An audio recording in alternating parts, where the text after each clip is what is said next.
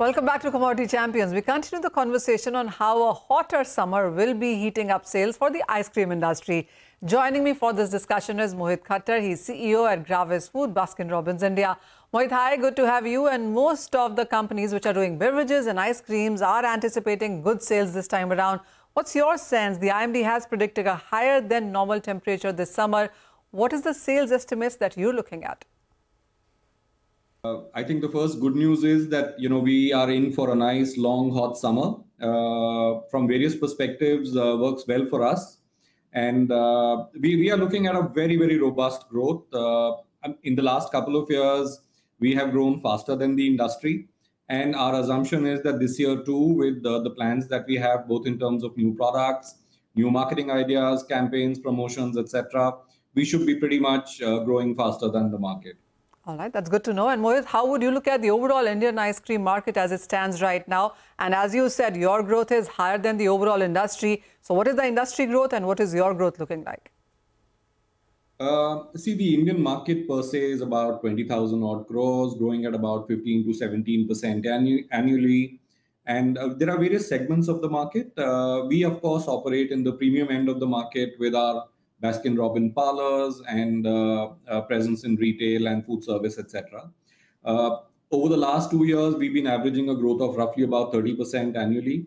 And we pretty much expect that even this year, you know, with our focus on innovations, with our focus on very, very new differentiated products coming into the market, we should be pretty much able to sustain the growth rates and the pace that we have set for ourselves. Those are very, very strong numbers, Mohit. Congratulations on that. Uh, also, the Indian ice cream market has seen entry from many new players. There are regional and domestic and international. Uh, there are ice cream parlors every nook and corner that you go. How are you looking at the Indian portfolio as it is now? You know, if you if I was to look at the Indian portfolio, you are very right that there have been several new entrants. Specifically, you know, from within the Indian uh, market, regional, a lot of regional players have come in. A lot of national brands have introduced, maybe second brands, etc. And of course, then there is the good for you, healthy eating space where there are there are some brands uh, that are coming in. Uh, I, I personally believe that most of the products being offered in the Indian market are Me Too products. Specifically, if you were to look at the regional portfolios, if you were to look at some of the what the national brands are trying to do, it, it's a lot of Me Too flavors that that have been seen before and and which the Indian consumer is not is not necessarily new to.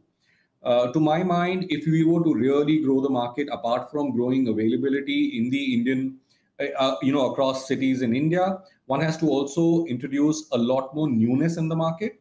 There are several products. I mean, if you were to talk about products like sticks or cones, etc., etc., these are products that the customer has seen, experienced for the last many, many decades uh, the customer is now ready to try something completely new, experiences that they have not had before, both in terms of the kind of flavors that are on offer, as well as the kind of formats that are on offer. To my mind, the growth is going to come from newness in the market and not necessarily from repeating what is already there. And, and this is exactly what, as a player, Baskin Robbins has been striving to do to offer you know far richer experiences to the customer and different from what has been there in the market. That's that's what our focus has been. Of course, towards this end, uh, there are investments which have gone in, uh, not just in terms of marketing or product development, but also, I mean, we, we've set up a completely new plant over the last two years, and uh, which gives us the ability to not just produce more uh, to keep, you know, in line with our growing demand, but also gives us added capability to produce very, very different kinds of products. So uh, that's our take. And uh, even this year, you know, there is a lineup of completely new products that we are bringing into the market. We believe that the customer is changing. The newer consumer is, is far more aware of what's happening around the world and therefore needs to be treated with respect. And you need to bring in the kind of flavors and the kind of products that are that are working elsewhere in the world. Uh, Baskin Robbins is, of course, well placed to do that because as an international brand, we have access to not just what's happening around the world. Uh, we have access to technology, we have access to flavors, and so on and so forth, and and of course, completely new formats as well. So uh, that's something uh, uh you know what we will be doing, playing to our strengths. Mm. You absolutely have me as one of those customers. I definitely am looking for something new in ice creams there. But as you talk about newer trends in market, and are the consumers also opting for healthy options like vegan and sugar-free and dry fruits? I mean, how much do you think is the penetration of these healthy desserts within the market? My, uh, you know, my sense here would be that the market is still very, very small in India it is exceptionally small. Uh, yes, there has been some, uh, you know, buzz around it with several new entrants coming in and, uh, you know, all these brands introducing their products. So there has been some buzz around it.